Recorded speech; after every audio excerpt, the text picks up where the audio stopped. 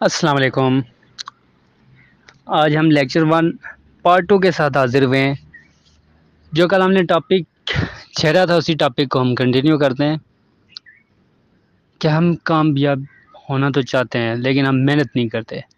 कल हम बता रहे थे कि जब किसी बच्चे को स्कूल में भेजा जाता है तो शुरू में उसको जो सिखाया जाता है तो एकदम वो इसको पिक नहीं करता। जब वो कोशिश करता है कुछ दिन उसके बाद वो उन अल्फाजों को, उस सबक को वो पिक करते हैं, सीख लेते हैं।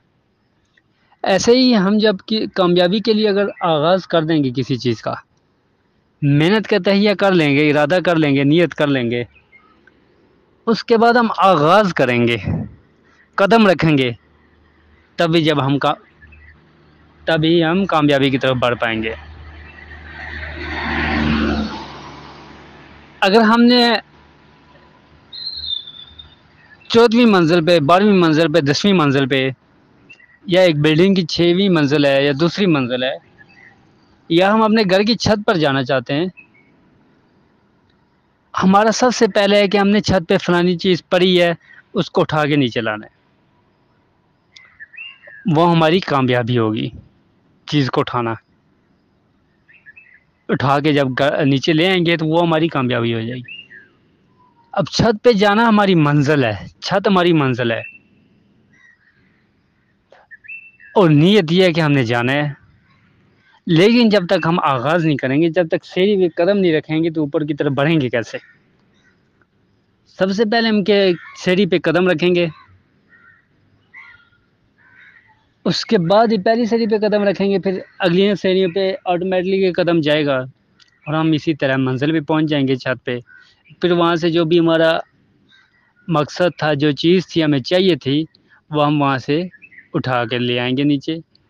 यानी कि हम अपनी मंजिल पे, आगाज़ किया। आगाज़ जब हमने कर दिए तो आगे हम खुद चलते गए। मंजिल पे पहुँचे, वहाँ से हमने सामान उठाया और आ गए। ये है हमारी कामयाबी। अगर हमने कामयाब होना है तो हमें पता है कि ये सामान जब तक नीचे नहीं आएगा, इस सामान तक हमने पहुँचना नहीं है, इस सामान को हासिल नहीं करना तो उस वक्त हम कामयाब कैसे होंगे?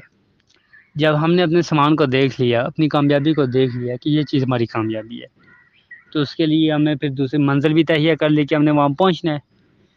उसके बाद नीयत इरादे के बाद हमने आगाज़ करना है और आगाज़ जब भी करना है, उसको कल के ऊपर नहीं छोड़ना, आज ही हमने आगाज़ करना है। किसी भी कामयाबी हमने अगर सोच लिया कि हमने कामयाब होना है तो उसका सफ़र का आगाज़ आज अभी से करें। सफ़र का आगाज़ हो जाएगा, आगे कदम खुद बहुत आपके बढ़ते जाएँगे और इन आप मंजिल पे पहुँचेंगे और आप कामयाब हो जाएँगे। हमारा आज का ये लेक्चर दो हिस्सों पर मुश्तमिल था, एक हिस्सा कल हमने पब्लिश करवाया, दूसरा हिस्सा आज पब्लिश हुआ है।